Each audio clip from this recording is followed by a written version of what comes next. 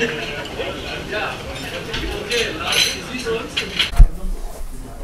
Herzlich willkommen, wir sehen dich auch sehr klar. Also wir sind gerade durch. Äh, wir erzählen dir so ein bisschen die Ergebnisse, damit du weißt, wie was gelaufen ist. Und vielleicht hat dann der eine oder andere noch eine kurze Frage an dich. Also ich drehe jetzt mal einfach um hier. Ich weiß nicht, ob du das lesen und erkennen kannst. Jetzt können wir ihn nicht mehr sehen. Ja, okay, okay, okay. Also ich sag mal so, das Model S, was die abends mit 184 Kilometern gemessen hat, haben wir mit einer breiten Basis von, ich meine, 5 oder 6 Model S durchschnittlich 363,5 Kilometer gefahren. Hast Ja, wie zu erwarten, ne? fast das Doppelte, genau. Genau. Äh, dann ist es so, Zoe ist ja außer Konkurrenz gelaufen, hat 120 Kilometer geschafft. Der Leaf 71 laut AMS, 118 tatsächlich. Der E-Golf 88 laut AMS, 113 tatsächlich. Der i3 78 laut AMS, 128 tatsächlich. Und der Smart Auch ordentlich, ID. 50 laut AMS und 94 tatsächlich. Also das ist, äh, sag ich mal, ein Sieg auf der ganzen Linie.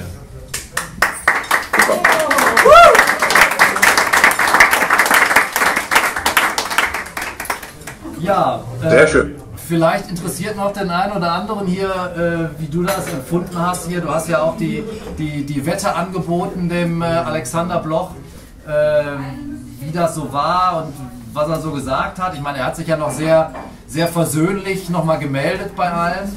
Äh, gehört haben wir nichts von denen. Glaubst du denn, dass eine Resonanz von der Automotor und Sport kommt, wenn wir das jetzt veröffentlichen?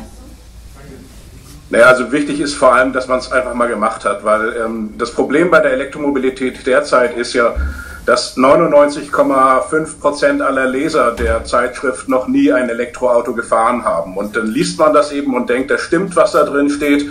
Und dann hat man halt ein völlig falsches Bild davon. Und wenn man dann sagt, naja gut, da ist ein Auto, das wird groß ange wird beworben und das leistet gar nicht das, wofür es eigentlich angepriesen wird. Das ist, glaube ich, das, was uns alle ja am meisten geärgert hat.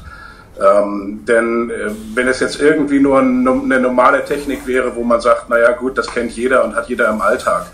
Gerade bei der Elektromobilität sind wir ja nun an so einem Punkt, an dem wir ganz genau darauf achten müssen, dass die richtigen Daten äh, darüber kommen, damit sich Menschen, die noch nicht damit in Berührung gekommen sind, ein richtiges Bild machen können. Und darum denke ich, dass diese Aktion heute unglaublich wichtig ist, ähm, eben auch in der Realität, in, in, in einem echten Härtetest, nämlich dem, was das Leben schreibt, ähm, tatsächlich ähm, zu beweisen, es geht. Und die Öffentlichkeit, die damit erzeugt wurde, ist natürlich gut, denn wir alle, die einen Tesla Model S fahren, und das zum Teil ja schon viele 10.000 Kilometer, die wissen, dass es überhaupt kein Problem ist.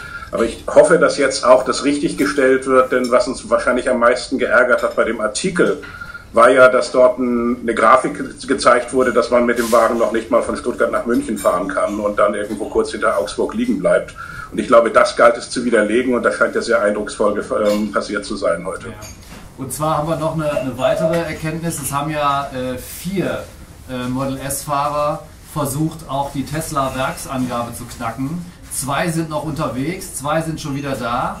Also der Eberhard, hier der Präsident vom Tesla Fahrer und Freunde Forum e.V., ähm, der hat tatsächlich 519, 514,9 Kilometer gefahren und ist hier mit Restreichweite Ja. 0 angekommen. Also genial.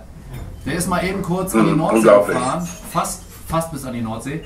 Ähm, die zwei, die noch unterwegs sind, haben sich nämlich den Jux erlaubt, von der Autobahn abzubiegen, weil sie ein Foto am Deich an am Meer machen wollten. Äh, auf die warten wir aber jetzt Mhm. noch.